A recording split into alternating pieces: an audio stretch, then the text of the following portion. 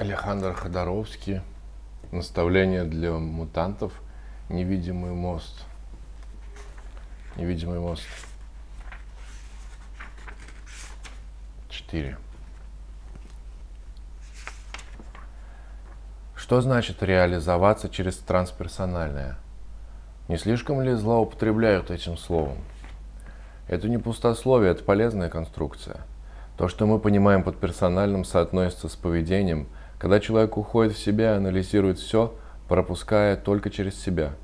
Трансперсональное означает факт принятия другого человека, значит, что мы воспринимаем мир и то, что нас окружает, принимая, принимая во внимание факт существования других людей. Следуя по этому пути, мы должны в конце концов прийти к двуполому мышлению. Если ты коллективный человек – ты вначале подумаешь как испанец, потом как человек, а затем как житель Земли. В идеале мы должны думать, не испытывая давления национальности, пола и солнечной системы. Можно ли надеяться, что однажды мы реализуемся? Это ловушка, потому что никто не может достичь полной реализации. Что такое реализоваться? Человек идет вперед как может. Например, сегодня я целый день писал «Техно-отцы» сценарий к серии комиксов. И мне это нравится. Я счастлив, потому что должен, потому что доволен написанной мной сценой. Я в эйфории, потому что творю. Несмотря на то, что э, эта история для детей и подростков, она очаровательна. И каждое утро я пишу стихотворение из четырех-пяти строк. На больше у меня не хватает времени. Это те маленькие действия, из которых состоит моя жизнь. И мне они нравятся. Заброшенная комната. Дом без хозяина. Пустота следит за моими словами. Словно слепой, нашедший сокровище в помойке, я позволяю, я позволяю зиме уйти. Не благодари меня. То, что я тебе дал, было предназначено только тебе. Я не хочу, чтобы ты любил меня. Я хочу, чтобы ты любил. У пожаров нет хозяина. Я послушал вас, и у меня создалось впечатление, что счастье заключается просто в умении посмотреть на мир под определенным углом. Это не вопрос восприятия. Счастье – это быть самим собой. Когда ты продвигаешься вперед, ты ощущаешь свою целостность. Речь идет не об определении границ реальности. Если мы говорим «я хотел бы знать», мы создаем иллюзию, что у нас есть «я», которое мы знаем. А речь не об этом – со времен классической древности нам хорошо известно выражение «познай самого себя», но в действительности оно достаточно непонятное.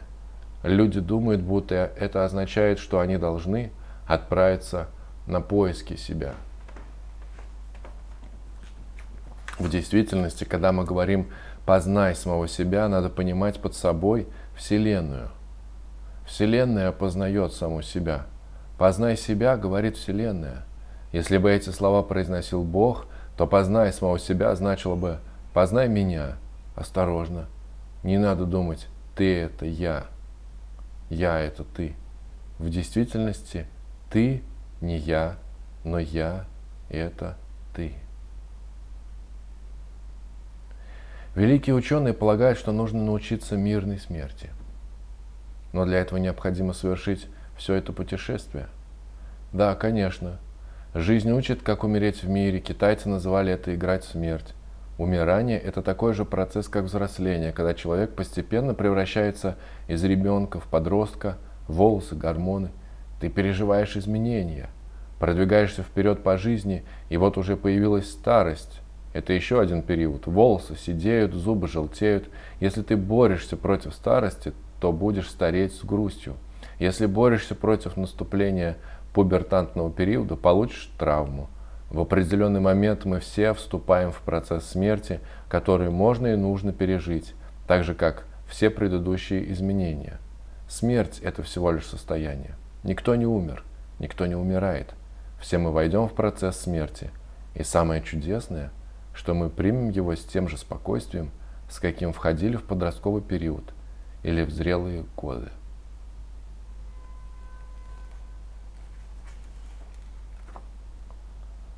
Вот. Я думаю, все мы получили большую пользу сейчас. Вообще, я... Ну, он говорит, как я. Тут нет ни одного какого-то предположение, которое бы я не предполагал.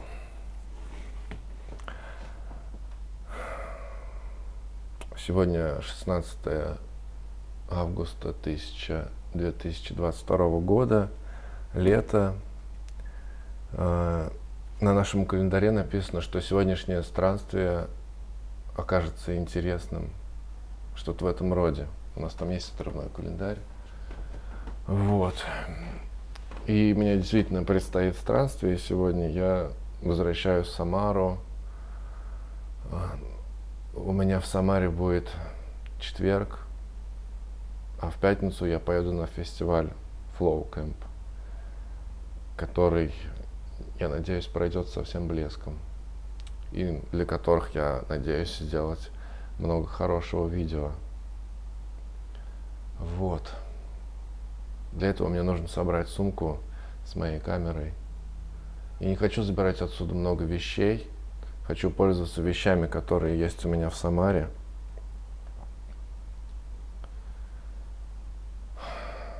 Вот. Мне немного грустно уезжать из моего любимого города, потому что я как-то не насладился им. На прошлой неделе я ну, в понедельник спал, потом три дня я как-то никак не мог выйти из дома, что-то тут э,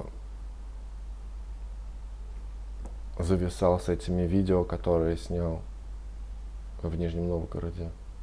Все время находил себе, в общем, какую-нибудь работу и не проводил время достаточно плодотворно, мне кажется. Ну и сегодняшнее утро тоже, я не знаю, как сказать, очень быстро пробегает. Время уже полдень. А проснулся я буквально в 6. Потом я еще поспал час. Я сегодня отсыпался. Я хотел еще разок погулять по Питеру этой ночью, но у меня уже не хватало сил. Потому что предыдущую ночь я спал три часа, и потом мы весь день провели на пляже, где я не отдохнул, потому что земля там была холодная, и вода была холодная. Ну, Время пролетело. Я немного поспал по дороге назад в поезде. И это бесценно спать, когда ты движешься по планете на поезде или на машине. И при этом слушать музыку какую-нибудь. А, у нас тут пахнет немного у нас тут попахивает смертью, потому что заболел кот у, у Искандера. Кота зовут Бьорн, кстати. Вот, и кот, у него что-то с почками, и вчера стало известно, что на лечение нужно 150 тысяч. Вот, и Искандер планирует входить в долги за своего кота. А я начал этот день, ну, довольно мудро. То есть вот то, что я сейчас читал, на самом деле я уже утром начал размышлять об этом. Я пытался как-то утешить Искандера и начал ему говорить о том, что все огни – огонь, и все коты – котик, все котики – один котик, и все люди – один человек. И что и при жизни мы социальные существа, и при жизни в теле. Вот, а потом э, мы продолжаем существовать в этом э, человеческом сознании, общем человеке, э, более широком сознании, чем ну, вот это общее человечество, которое в данный момент живет. И у меня лично такое ощущение, что я буду вечно жить со своими желаниями, потому что я есть истинное желание. Я все состою из желаний. И просто я плохо а, реализую свои желания, но иногда я выхожу на достаточно продуктивные какие-то периоды и разгоняю вот этот свой Я — это дорога. И иногда я довольно прямая дорога. И я путешествую по этой дороге довольно быстро к тому, чтобы реализовывать э, не только само странствие, но и пункт назначения, потому что он все равно есть, несмотря на то, что мне очень э, интересно гулять, все равно нужно чувствовать э, то, ради чего ты гуляешь и куда ты идешь. Вот, и для меня все это создание своего фильма. И тут я недавно вот пытался поступить в школу, и несмотря на что, несмотря на то, что я не делаю такой фильм, о котором я мечтал в детстве, вот знаете, вот эта вот форма фильма, к которой я иногда иду, и думаю о том, что чтобы что форма фильма никогда не придет, что через сто лет все равно будет форма фильма, которую мы знаем начало, середина и конец, высказывание, ну то есть фильм все равно останется фильмом даже через сто лет. И я думаю, что не стоит раскрывать, э, что такое форма фильма для меня, потому что она, в принципе, для всех одинакова. Мы все примерно понимаем, что такое целостное произведение. Вот. И я вот к этому иду, к тому, что целостное произведение не обязательно должно быть полтора часовым ролики, которыми я занимаюсь уже пять лет, приносят мне большое удовольствие самому. И недавно я вот монтировал его и понял, что я сейчас занимаюсь э, таким высказыванием, которое лично мое. И оно вот как у Чехова, знаете, краткость, сестра таланта. Мне, если честно, ну, очень большое количество людей кажется очень скучными. Например, один чувак, который мне вчера позвонил, или другой. Есть какие-то моменты, которые, которые они мне нравятся по каким-либо причинам. Иногда, ну, просто нравится смотреть на человека. Но, в принципе, большинство людей кажется мне скучными очень часто. И я не скрываю того, что мне с ними скучно. Ну, я так делал, например, вчера вечером. А, при одном телефонном разговоре, который как раз и довел меня до вот того состояния, что просто здесь вырубиться наконец-то. Потому что у меня теперь новая ложа. Это вот просто без кровати, но это рейки вот эти и матрас, так что мне очень удобно наконец-то спать в моей комнате, потому что предыдущий матрас был он продавленный, ну и он грязный. Я вообще от него бы с удовольствием избавился. Но мало ли, может он будет гостевой матрас, вот я около стенки его поставил. В общем, я сегодня выспался, я спал, наверное, с 12 до 6.20, то есть это, ну, я имею в виду, круто, что я первую часть ночи, до 12, наверное, даже застал. Поэтому ну, я бы не сказал, что я выспался. У меня такое тяжелое состояние. Ну, потому что я ощущаю, что впереди вот это все. Какие-то вещи, которые надо будет решать. Сейчас мне надо будет решиться вот с своей сумкой. Ну так вот, я начал с, с мудрости свое утро, потому что я пытался утешить Искандера, что все котики котик, все люди один человек. Конечно, вот что касается меня, вот эти все мои, вот я сейчас читал, и больше всего меня задела идея, что мое сознание в конце концов должно быть растворено. Это тот самый дар, который я приношу э, в общий океан. Вот, я никогда раньше об этом не задумывался. Мне так оказалось, что я, мое сознание это вот мною накопленный опыт, характер, который я отточил. Вот. Что вот здесь я только начинаю э, действовать, а дальше я буду бесконечно продолжать, потому что я буду хотеть этого. Вот.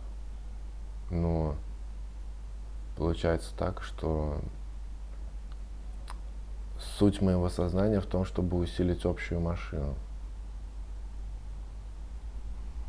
Короче, нет, я, я пока не готов к тому, чтобы понять, каково это растворить, дать, дать в дар свое сознание. Я, конечно, его дам в дар, я буду участвовать в общем деле, в общем движении общего человека, но мне кажется, самосознание меня как меня сохранится навсегда. Наверное, там есть такие органы у, в теле вот этого суперчеловека, которые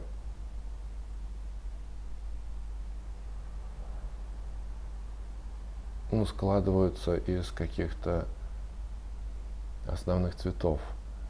И мне кажется, что я основной цвет, который не может быть оттенком.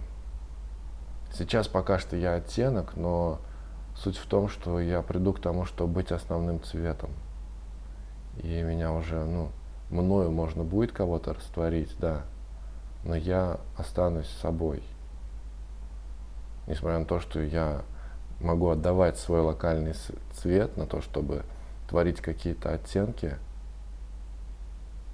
но от меня не убудет, я так и останусь цветом. Я не вот кусочек краски, который будет израсходован, я цвет, который всегда будет существовать, который эта краска просто выражает.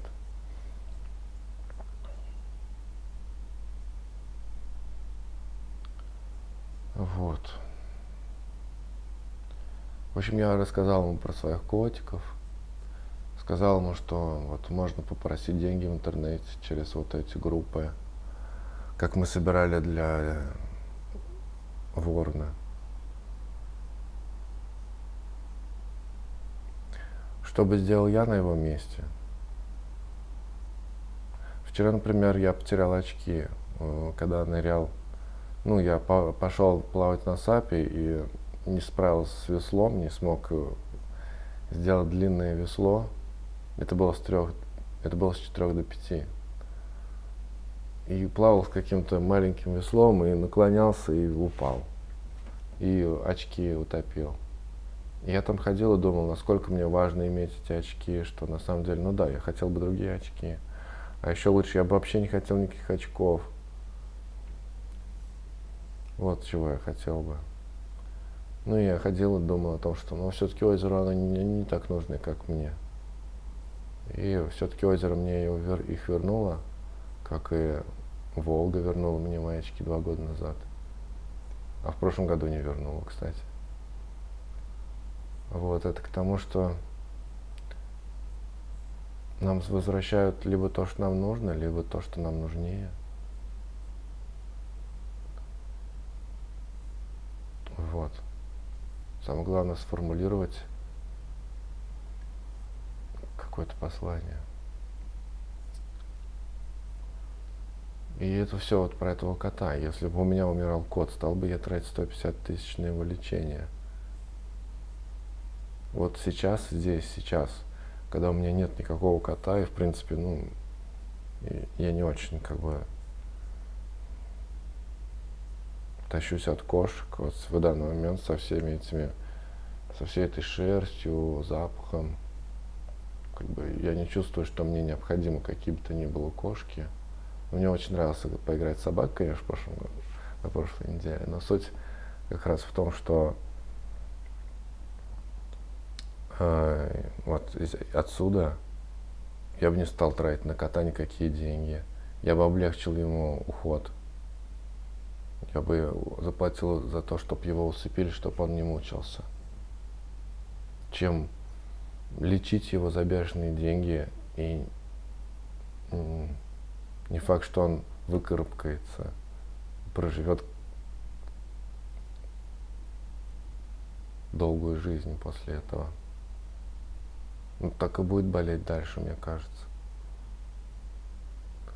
А, Искандер уже спасал его, он выпрыгнул из окна. Он все время прыгает на вот, на вот эту сетку москитную, а однажды сетки москитной не было. И он вы, вылетел с пятого этажа. И вот тогда уже Искандар его лечил в прошлом году. Но там была как бы внешняя причина, а теперь у него что-то с почками – Я не знаю, что ему заменит почку, что В общем, отсюда, здесь сейчас, мне кажется, что этих кошек так много. Они вон во дворе бегают буквально и никому не нужны. Можно осчастливить кого-то другого. И уменьшить страдания здесь, чем бороться за жизнь слабого существа. Ну вот это я хотел ему сказать, но это довольно жестоко звучит, поэтому я просто говорил о том, что все котики котик, и как мне было тяжело моего кота потерять. Ну не то, чтобы тяжело, как раз наоборот рассказывал о том, что фильм был для меня важнее. У меня такое ощущение, что если ты делаешь что-то, что чего-то стоит, ты должен за это платить. Ну и ты всегда платишь так или иначе, а иногда э, неосознанно платишь. То есть, когда вот кот у меня умер, когда я снимал этот маленький курсовик свой, я тогда это ощутил. Потому что на следующий день я нашел тот э, школьный костюм, который долго искал.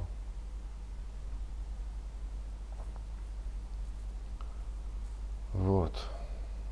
Ну вот, знаете, эту историю про одного иконописца из Самары, у которого умерла жена, и он перестал писать, потому что он говорит, что это из-за этого, из-за того, что он пишет. Ну вот он заплатил женой за, за свои гениальные иконы. Ну он прям вот, ну что? Ну кто такой, как он? Кто такие пузыри золотые рисует на иконах? Да никто. То есть он продолжает оставаться вот внутри традиции, но при этом делает такие фантастические вещи. Он выходит за границы канона, где канон является прям, ну, ну иконопись, понимаете, да. Это сплошной канон. А он справляется с тем, чтобы этот канон, устоявшийся и настолько жестокий канон, он его преображает. Конечно же, у него... Конечно же, за это нужно платить. Вот я о чем думаю, о том, что это, конечно, конечно. Может быть, в какой-то момент и не надо будет платить. Но в какой-то момент приходится платить.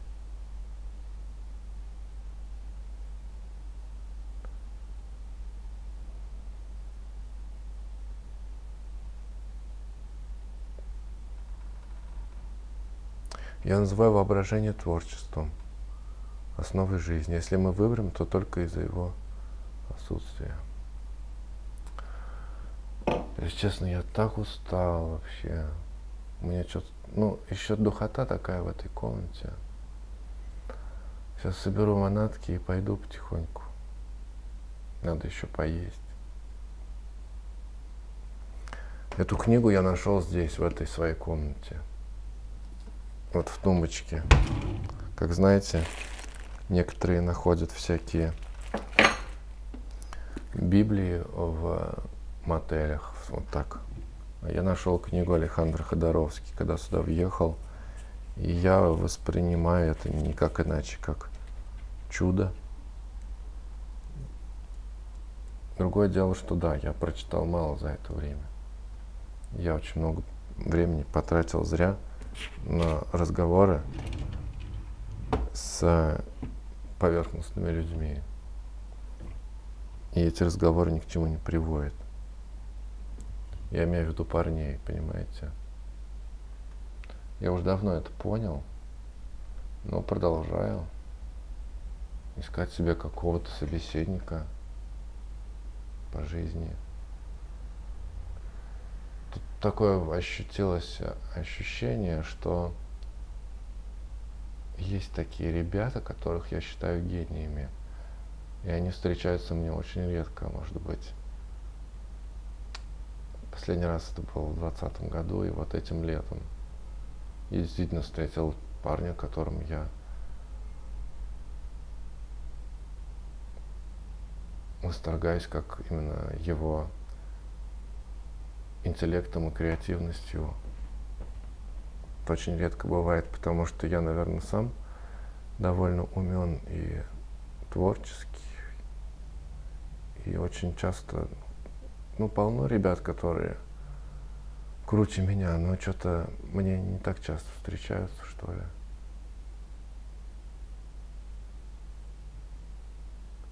В общем, я вот встретил одного такого, и это взорвало мой фонтан в каком-то смысле. Ну, пролилось очень много креативной энергии, я кое-что тут написал и смонтировал в большом, на большой скорости. Ну вот, а потом просто опять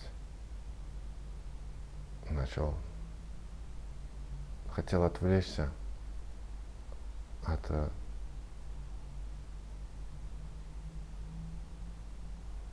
от него какими-то поверхностными чуваками.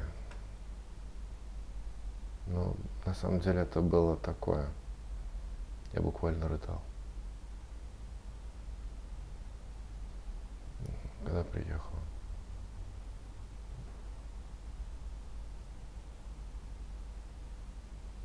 мне было прям, это было раскаяние.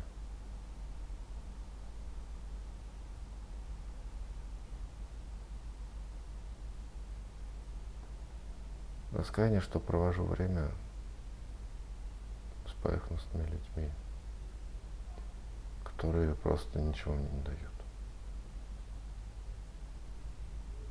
Тратят мое время.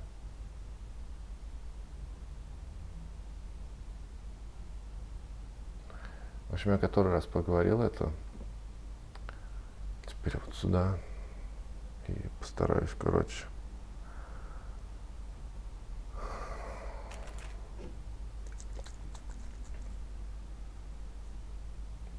реализовывать.